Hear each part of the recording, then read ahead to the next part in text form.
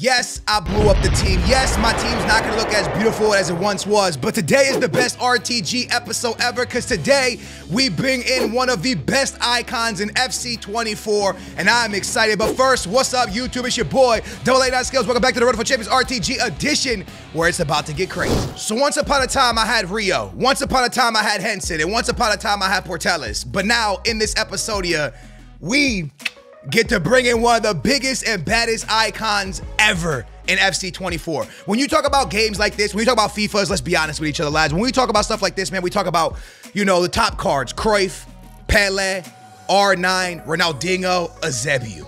And I had an opportunity, I had an opportunity to cash out and, you know, really blow up my team, but take all of my coins and invest it into one card, invest it into one massive SBC that will probably be one of the biggest cards that we've ever had in any, any, any RTG. And I've been doing RTGs for like 13 years here on YouTube, but I really started taking it really serious in FIFA 17. But I never really had a card at the caliber level of an R9, uh, of a, a Zebu this early.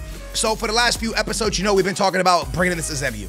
So we sold everything on the account, got up to 1.4 million coins, and have literally put all of my coins into this SBC. I sunk it all. And by the time I'm done what you guys are watching right now, I started getting a little bit nervous, but by the time I'm complete all the SBCs, I'm gonna be left with about 200K and that's it.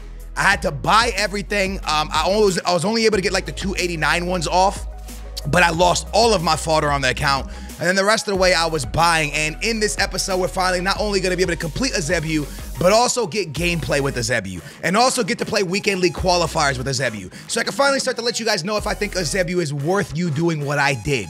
Is it worth you blowing up everything you have? Is it worth you giving up all the stuff on your account just to have this one magical card? And the truth is, the unbelievably truth, the big truth, like the, the facts is, wow and we'll get into it in just a minute. How was I picking up informs? By doing the inform SBC. I would rinse the inform SBC to, to get informs because that was probably one of the most priciest thing. And I was lucky enough to get pretty good informs along the way. And then the rest of the way, I just had to buy gold. So as you guys are seeing, I'm down to 200K. Now, one thing about this account that you guys need to understand is I'm extremely lucky. For example, every time I complete an SBC, it seems like when I open the pack, when I'm just, okay, I was completing a Zebu, right? But every time I opened a pack, I would get something. Like, for example, I opened a pack here at the end and I got like Odegaard. And I opened one pack from a Zebu and I got an 88 rated card. It's like, that getting lucky like that is really like I don't know I don't really know how to explain it but it's extremely extremely lucky for me to be able to uh, do that like complete an SBC get a mega pack and get a walkout. But regardless the moment of truth vamos! My Benfica legend meu rei meu benfiquista my man Eusebio is here lads. I even got my jersey on. Now one thing I did mess up First two games I played, I didn't have my Benfica shirt on, but you best believe I'm gonna put my Benfica shirt on. So my boy Eusebio's in the Benfica shirt, man. Check this out, man. My man got 93 pace, 93 shooting, 85 passing, with uh, crazy dribbling, crazy stats all around. Look, when we talk about having a card like this on an RTG, that's wild. Like, like if you're an old head like me and you come from old FIFAs where you know, you see what I'm saying? Odegaard out of a pack from completing a Zeb, you like, I just get lucky, man. Um, but when we talk about like if you're old head like me, you played all the old FIFAs, dude. Like having an Eusebio on an RTG in December, like that's not really that's unheard of, you know. And this is what the team officially looks like now. The team officially has Smith, Eto'o, Neymar, Eusebio, and as you guys can see, everything on my account is now loaned or untradeable. The only card that's on this account that's tradable is Aitana. But what I'm gonna do with Aitana, lads, is Evo, Evo her. Why? Because I had the red thing was about to expire. Today was the last day, or 10 hours ago was the last day, last day to be able to make one of your cards red. And I sat there for a long time and I thought to myself, who do I want to make red? Do I want to make a Zebu red? Who do I want to actually make red? And I decided to do Aitana. And as you guys can see, my boy Zebu is going to win the ball back here. Zebu chilling in the box. Aitana getting involved with Zebu. Zebu trying to shoot it, but that one gets auto blocked. And my boy Eto'o trying to make something happen here, but nothing's really working out. Finally, Zebu starts to dancing, and Zebu puts it into the back of the net. And now I need to be fully non-biased when I speak to you about Eusebio because I'm a Benfiquista, right? So it's like for a Real Madrid guy. Like when you talk to a Real Madrid guy, they're probably gonna hype up Ronaldo, or when you talk to a Barca guy, they're gonna hype up Messi. Eusebio is that to us Benfiquistas. So I need to make sure I'm completely unbiased when I give you my honest opinion on Eusebio. That's the number one thing. I never want to go into a video lying and being like, yeah, he's so good. Sink your whole club into this card. He's gonna make you better. He's gonna make you get 20 and 0. He's gonna make you get rank ones. For me, the first thing I want to let you know is he, that guy just made the biggest mistake hitting that gritty on me. First thing I want you guys to know, I won a 20 and 0 on this RTG. But for the longest time, I rotated this account around just getting 20 and 0. You know? How, just trying to 20 0, 20 0, 20 0, 20 0. Everything was 20 0. We already rank one, boys. We get 19 1 every single weekend except for the weekend that just passed, right? What we need to focus on right now, what we need to find is players that are going to help us get that, not chase 20 and 0, bring in players that are going to get us 20 and 0 without trying. And I lost focus of that. So I had an opportunity at a Zebu. I have opportunities to try a lot of cards, and I don't do it because I'm like so caught up on Henson and Putellas and this and that and all these meta cards. And for a long time, I got sunk into that idea of you can only rock certain meta cards to get you 20 and 0. And I kind of lost the way of the RTG, but I can tell you right now, we're back. I, I sunk all my all my hard work into a Zebu. And is he a meta card? Yeah, you know what I'm saying? But, but What's gonna lead to that now is no not longer like I can no longer just go out and buy Henson and Putellas. Now we got to go find a card in the Portuguese league. Now we got to go find a card in, in, in La Liga. Now we got to go find a card in the Italian league that can take the spot of Putellas, that could take the spot of Henson, that could take the spot of uh, Rio. We got to go find cards now that can play for us with only 200K. We, we don't got the money, a million coins to go buy Rio, Henson, and Putellas. We don't got that no more. And I'm actually excited. I feel like the RTG's back like a fire's been lit because now I'm like, all right, how do I find players that are good enough to go into this starting 11, make us get 20 and 0 without me chasing 20 and 0? And that's where it's going to get great. We got to talk a second for, before we talk more about Eusebio, about this Smith card. Smith has been dumb, bro. Like, she came in and she's scoring as many goals as Eusebio. And I want to tell y'all right now, in qualifiers, I think I'm 6 and 0. And in those six games of qualifiers, because I've only played qualifiers, Eusebio has like 13 goals. No assists, just 13 goals. He has been putting all the goals into the back of the net. When Eto'o or Smith gives him the ball, he finishes. Now, I do want to let you know I shot a lot with him. Every time I got into the box, I just wanted to feel what his shot felt like. And the one thing I will tell you is if you do this, Eusebio, you will not regret it. He is a pure finisher that moves crazy with the R1.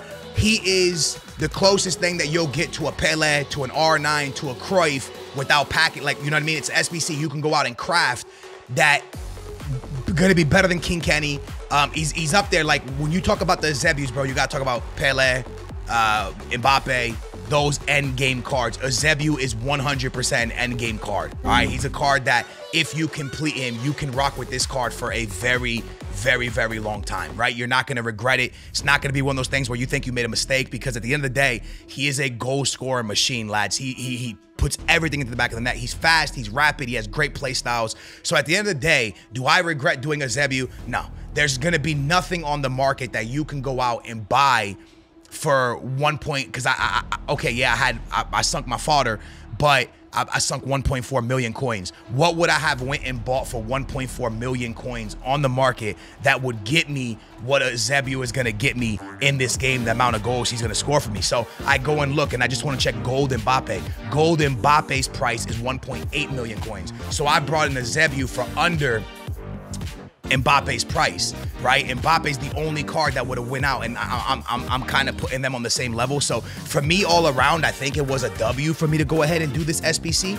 But at the same time, I'm not telling you to go do it. I'm not telling you that you're gonna love it. I'm not telling you he's gonna be the greatest for you. What I'm telling you is he's insane in FC 24. His finishing is remarkable. Um, and I personally love the guy because he played for my club. He played for my team. He played for, you know what I mean? So he means a lot to me. But um, I, I, guess for me, it's more about the fun that he brings to my team, right? And the fun that he brings to the series. What do I mean by that? like I said, the fact that I'm lost at the center mid position, I'm not lost because I have Aitana. Also, Aitana, I could sell her for 50K. Think that's what she sells for still, if she sells, sells for that. But I'm just going to make her untradeable. My team's going to be fully untradeable now. And her and Neymar are officially going to be red. Why? Because her and Neymar are club legends. You guys know they have carried this badge for a long time. Also, lads, I get this little pack right here. I don't know what you guys think, but I'm going to end up getting Dembele.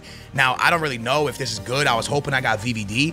Um, but at the end of the day, I got Dembele. And, and for me, Dembele, a five-star skiller, 86 overall with crazy speed. I thought to myself, this is pretty good. Now, I don't know if it's pretty good. I don't know. Like, I'm not trying to act dumb and y'all be like, yo, it's a W, bro. No, I'm being serious. Like, is this a W in December with what we have already? I already have Smith and stuff. Is this a W? You can play right wing, left wing. He's French. He's from the, he's from, from uh, five star, five star. I mean, I, I think it's a W, but I feel like probably everybody was getting him. So I'm not really sure. Y'all let me know in the comments. Um, but yeah, I, I think me doing Eusebio was all around a W. Great goal scorer, great goal, a great mover, great passer, everything great about him. And then it makes me have to go find players that can help Eusebio win. And I like that. I'm back on the market. I'm back scouting. I'm back looking around. I'm not I'm not stale. I'm not in a stale position where, oh, I got Henson, I got Putellas, I don't need nothing else. Nah, man, I gotta go back out. I gotta find a center back to replace Rio, right? I gotta find uh uh uh, uh is there somebody out there better than Aitana that can take Aitana's spot and do what Putellas was doing to give us that many goals? Is Smith okay at the right wing position? Um and, and right now, what you're watching here is Neymar actually just got benched because Neymar was incredible at the striker position for me. I have Eto'o and Eusebio now, so Neymar's not the best on the wing. So right now I'm looking for overpowered wingers. So Smith on one ring and I have Rodrigo on another. I want to replace Rodrigo, so I'm in the market looking for a winger that can take Henson's spot and also Rodrigo's spot. So it'll be Smith on one ring, uh, somebody else on another wing, and then Eto'o and Eusebio up top. And then Neymar will be a 45th minute substitution for Eto'o. Eto'o will come out at halftime and Eusebio and Neymar will come in with Eusebio to kind of cook the rest of the way. But yeah, man, that's kind of where I'm at right now with the RTG. I'm looking now. I'm now I'm scouting the market, looking for talent, right? Like, and if you guys in the comments down below can let me know who's a cheap center back for me to bring in, who's a cheap center mid for me to bring in, who is somebody that is cheap but remarkable and gonna give me what Henson and Putellas did. They don't gotta be a meta card. They don't gotta be what everybody's running. I'm in the market looking for cards. If you watch my old school RTGs, I'm looking for the Walcotts. I'm looking for the, the, the gold Salas when he played for Roma. I'm looking for those type of cards, man. I'm looking for cards that not everybody's rocking, maybe an Evo card, but is really gonna stand out and is really gonna take that next step for us to kind of, you know, get that 20 and 0 without us even trying, right? Because that's what it's really all coming down to right here. Look at my boy Dembele off the bench. Oh, wait, actually, I think I, yeah, I brought him off the bench. I might have started him this game. But yeah, Dembele doing his thing. Now I, I brought him off the bench. I brought him in to kind of try him, and Dembele getting involved, man. You guys can see I'm rocking out with the player locking. That's one thing I'm doing a lot more now. After this patch, I feel like a lot of stuff is getting auto blocked. So I am working on my player locking so that way I can kind of get these auto blocks to kind of go away. But right here, as you guys can see, man, look at Eusebio. I'm shooting from everywhere to see what he finishes, and he just getting really, really cheesy finishes. So Eusebio's definitely bringing that next level of attacker to the team, right? We got lucky and got Eto'o, which brought that next level, and now Eusebio brought the next level. So we went from having like this series where we had Neymar and Rodrigo at striker to now having Eto'o and Eusebio. What an upgrade at the RTG striker position, man. We're to pick up another massive win in qualifiers. We are flying through qualifiers. I got to play my elite games and I got to finish up qualifiers. But I think right now I'm like 6 and 0 and Eusebio went crazy. But as you guys can see, I got a few things to pick up out of objectives. But we are to make Aitana red. Uh, we have Neymar red. We have Eusebio. We have Eto'o. We're fully untradeable and we have 230,000 coins. So again, 230,000 coins is not a lot, but it's a little bit. It's some we, we, we could go do something with that. You know, we could pick something up, but I feel like I'm in a really good place with the RTG right now, lads. I don't know. I just feel like it, I feel like this really kind of like brought the RTG back to life in a way because I felt like it got a little bit stale for a while. I don't know how you guys feel, but maybe your accounts aren't stale. Maybe you feel good, but I just kept playing with the same 11 and I don't know. It just kind of felt like it was getting a little bit boring. And even though I was getting the 19 and ones, and even though I was getting the best finishes, I, I was kind of like using the same stuff over and over. And and I don't know. For me, I just like okay, yeah, I would give away getting 19 and 1 to have try new stuff, to have new stuff. You know, 19 and 1 is cool, but like yo, I don't know. I don't know how you guys feel, but getting 19 and 1 every single weekend is lit, but at what cost, right? You don't get to rock out with the cool cards you want to. You don't get to, you know what I mean? So that's why I did this. My back line definitely doesn't look as good as it once looked. The team is still remarkable, by the way. Um, but yeah, look, four games played, 12 goals, my boy uh, Zebu. Yeah, the team the team doesn't look as remarkable as it once looked, but I think it's just a lot funner, even though that's not a word. Anyways, Booyah Nation, hope you guys enjoyed this episode. For me, Eusebio, I mean, 10 out of 10 so far. We'll see how he plays in the Elite Division. Thank you guys so much for watching. More uh, gameplay tomorrow. Thank y'all. Hit that big old thumbs up, subscribe, turn your bell on. And I will catch you in the next RTG episode. I'm looking for a center back, a midfielder, and a winger. So if you got somebody that's cheap and good, let me know in the comments. Peace. We out of here.